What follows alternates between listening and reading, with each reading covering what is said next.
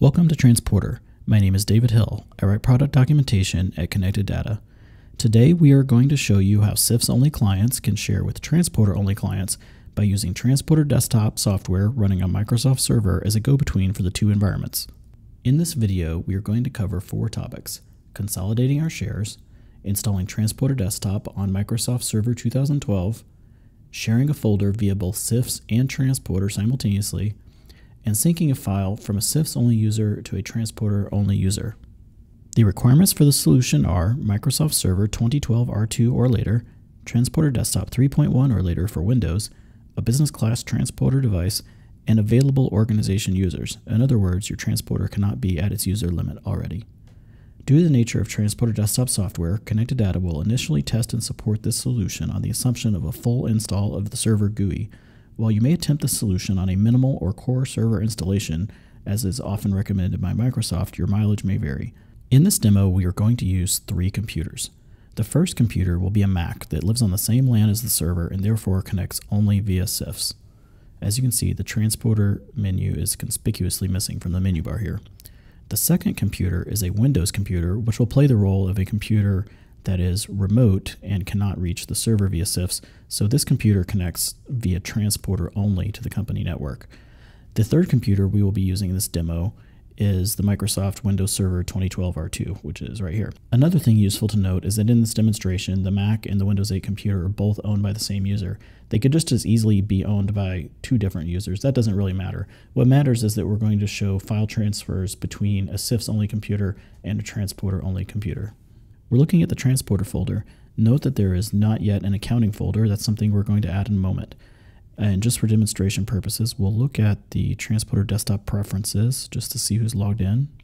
We have the user Douglas Rees logged in, uh, so we'll close that. And now we're going to look at the Mac for just a moment. Looking at the Mac, we can go connect a server, and there's a link to our server already saved. We're going to log in as the same user. Okay, and now we're going to see the shares from the Microsoft server and note that they're completely different. Here's the accounting folder, which was not present on the transporter only computer. And during the course of this solution, we're going to see uh, that folder sync between the two systems. We'll go and connect this here. And we can see uh, there it is with some contents. Since we're not going to use that immediately again, we'll eject it but you can see that this is the uh, CIFS computer. As a prerequisite to installing Transporter Desktop on the server, we are going to need a dedicated organization user account to use on the server itself uh, with which we'll log in. So we'll go ahead and create that before we go back to the server. So here we have our administration website. I'm going to invite a new member. I've created a distinctive email address for our server uh, which is pretty obviously named there for the 2012 server. It will be the first server on our network. I'm going to submit that. Now, of course, we're going to have to accept that invitation on behalf of that user. So we will go to our mailbox and look for that to arrive. So we'll follow this link and we will give the server Douglas's name since he's the administrator anyway. And we'll just make the username very similar to the email address. And we'll create a password, agree to our terms, and sign up. We will skip this. Uh, this user will be searchable for now anyway. And here we have some default settings for your account, which are relatively self-explanatory. We can get into these more at a later date. For now, we're just going to leave them at default and click Next. Here's where you'll see the software download. Because we're going to install this on a different computer, we really don't need to install the software here. Uh, that will be installed at the server. So we're just basically trying to get to the end of this and be done. And there's our quick start guide. And uh, really this user is pretty much done here. So we're just going to log out.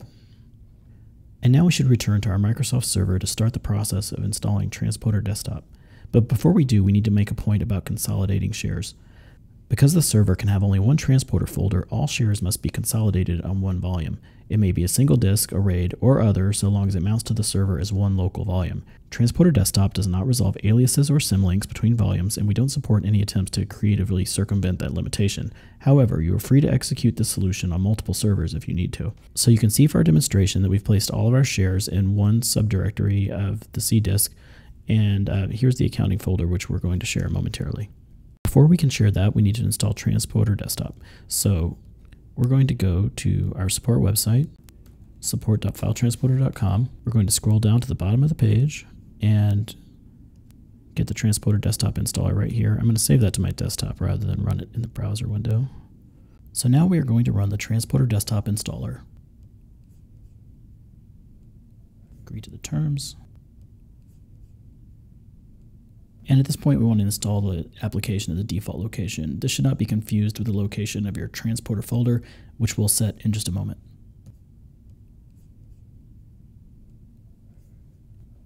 And this will require a reboot of the server. Now we can see that Transporter Desktop has launched and we are going to log in with our organization user account and change the location of the Transporter folder to match where we've consolidated our shares. And here's where we'll change the location of our Transporter folder. And we're going to set this to correspond to our C directory where we've placed our shares. We'll just place it right here at the top of the shares directory. and click Next.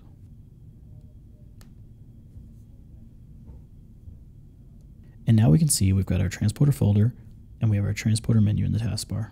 So now we can return to our common shares directory and here our goal is to move the shared folders into the transporter. But we do that with this warning. Changing the path of an existing share may cause it to cease being a share and to lose its user group privileges information, in turn causing you to have to reconfigure it. If you have complex folder setups, be sure to retain that information prior to implementing the solution or use appropriate Microsoft and or third-party utilities to move the shares in a manner that preserves and or restores these settings. Many of you are probably already familiar with such options, but for simplicity in this demonstration, I'm going to simply drag these shares into my transporter folder and allow the shared property of these folders to be lost. So now I'm going to go back inside my transporter folder. It now contains the shares, and you can see by the updating icons that they are beginning to synchronize with the server. Because I don't have many files in this demonstration, they synchronized very quickly. So now let's look at properties on the accounting folder. We can see it's no longer shared, so I'll share it. I'm going to add back our first user here. Give this user read-write permissions and hit share. So at this point, the accounting folder is being synchronized to the transporter and it is once again a Microsoft share, but it's not yet a transporter share. So the next step is going to be to use the transporter contextual menu to share the accounting folder. This will take us to the management website, and in this demonstration, Douglas is the only other active user I have in my organization. That's just for simplicity. So we'll invite Douglas, give him read and write privileges, and click submit. So now we have the accounting folder with one member, who's Douglas. Of course, in your organization, you'll add many more members.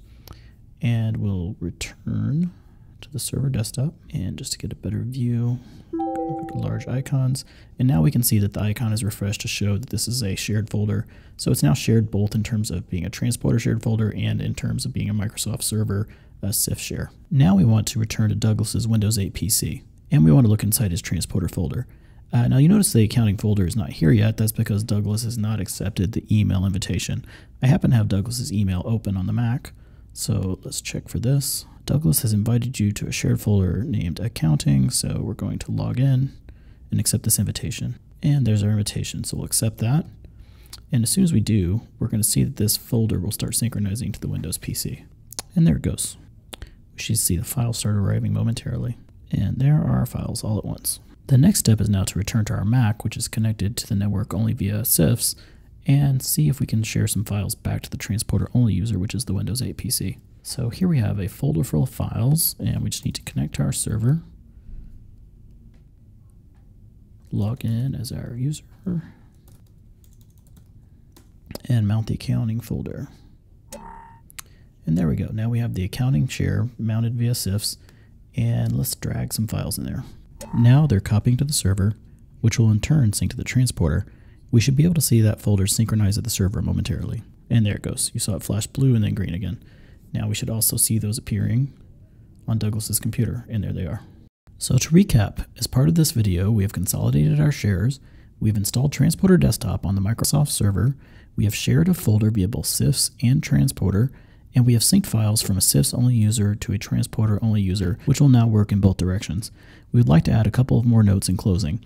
The organization user account that you've created for your server should be reserved only for that server. This user's credentials should not be shared beyond your administrative team and should not be used anywhere other than on its designated server. This user will count against your transporter device's user limit. Now that you've completed this procedure, both transporter and CIFS users will see the same contents of the co-shared folders within the limits of sync time between the systems. You do need to repeat the steps that you've done for the accounting folder on any other folder that you want to share in this manner. Please keep in mind that when transporter users create new shared folders, that they will need to invite the server's organization user account to any folder that you want to share with the CIFS only users, and that the server administrator would have to enable it as a CIFS share after it arrives on the server. Likewise, any new CIFS share that is created at the server would need to be shared via transporter. With regard to transporter version history, all changes made by CIFS users will appear under the name of the server's organization user account the server administrator may obtain additional information from Microsoft Logs. To see a written version of this procedure, please visit go.filetransporter.com slash CIFS coexist. Thank you for watching.